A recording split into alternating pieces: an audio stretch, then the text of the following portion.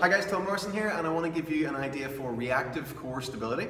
And what that means is basically your body's ability to be able to react and think for itself um, just instantaneously. Uh, you've different types, types of core strengths. So you've got isometric holds, so like if your planks, um, hollow body position, you have rotational strength.